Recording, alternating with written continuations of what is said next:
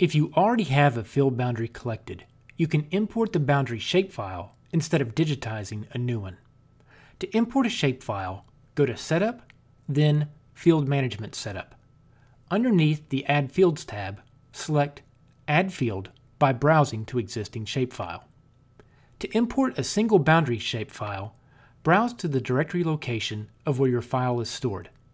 Select the boundary's shapefile, which will have an extension SHP, then hit the Next button.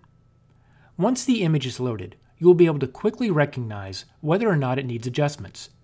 If the field is accurate, you can continue to import the boundary. However, if there are problems with the boundary, such as the GPS receiver being offset or not matching up to the cultivated region of the field, you can make adjustments using the Edit Vertices feature. Field boundaries collected years ago, or with older field collection devices, tend to have a lot of errors, so sometimes it is easier just to delete the imported data and completely redigitize the boundary, whichever is easiest. When you are finished, save the boundary and add it to the grower farm field hierarchy.